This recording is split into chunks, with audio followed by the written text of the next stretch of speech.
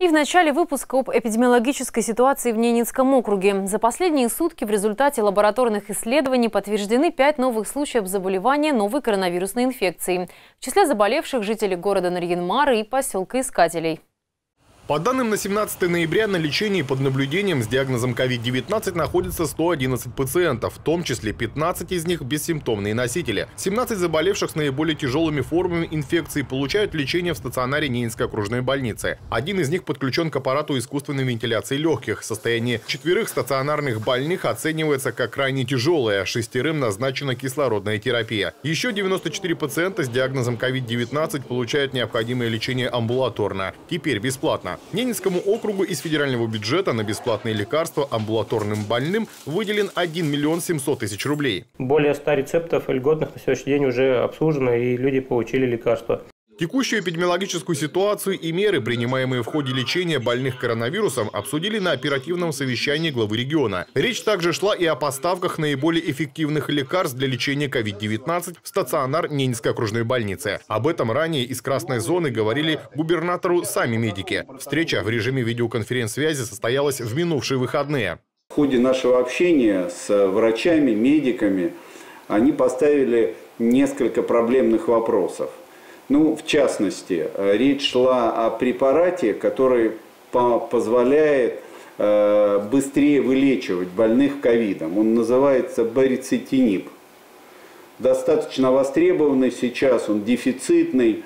Э, выходил на связь с министерством и обещали помочь. В самое ближайшее время нам дадут этот препарат. Поэтому Э, вам поручаю отработать технические вопросы получения этого препарата, его нужно срочно передать в окружную больницу.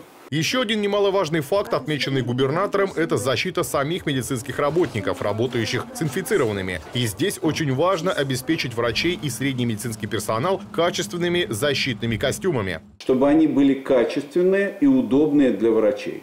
Напомню, в Ненецком округе действует режим повышенной готовности. Ограничительные меры действуют в отношении предприятий общественного питания, которые закрыты для посещения с 23 часов до 6 утра. А также касаются организации свадебных церемоний в ЗАГСе, на которых могут присутствовать только молодожены и регистратор. В общественных местах и на транспорте необходимо соблюдать масочный режим. Прибывающие в округ должны предоставить справку об отсутствии коронавирусной инфекции, либо пройти курс двухнедельной самоизоляции. С начала пандемии в регионе проведено более 12 12 тысяч ПЦР-исследований, за прошедшие сутки 289. Более того, чтобы увеличить количество ПЦР-тестирований, в Ненецкую окружную больницу закупят новое оборудование. Федеральные средства выделены, сейчас отрабатываем по приобретению оборудования. Самый сложный был вопрос – это в помещении. Есть два предложения, э, в принципе, они оба приемлемых, с Роспотребнадзором согласованы. То есть сейчас э, будем запускать, чтобы на базе наших медицинских организаций дополнительно проводить э, ПЦР-диагностику. ПЦР-исследование планируется делать в две смены. За сутки к сегодняшним цифрам добавится еще порядка 200 тестов. Стоимость теста для тех, кто решит сделать его самостоятельно, не будет превышать полутора тысяч рублей. Запустить новую лабораторию профильный департамент планирует в конце ноября.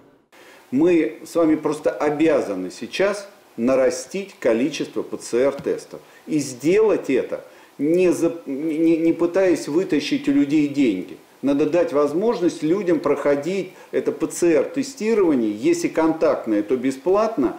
А если кто-то просто перемещается и делает это на коммерческой основе, значит цена должна быть минимальная, доступная. Поэтому максимально короткие сроки. Разворачивайте лабораторию ПЦР-диагностики и увеличивайте количество тестов. Что касается работы образовательных организаций, то большинство из них продолжают обучение в очном режиме. На карантине из-за превышения питпорога по сезонным заболеваниям ОРВИ находятся воспитанники двух групп в городском детском саду «Солнышко». Также на карантин закрыты два сельских детсада в поселках Харивер и Красная. По ковиду у нас закрыта одна группа в СПО, а, Ненецкое профессиональное училище, но там из-за контакта. То есть там тоже не вспышка, а просто контакт, поэтому закрыты на самоизоляцию. На сегодняшний день на учете в управлении Роспотребнадзора по Ненецкому округу состоит 689 человек. Они находятся на самоизоляции дома. Иван Никонов, Антон Выдряков, Леонид Шишелов, телеканал «Север».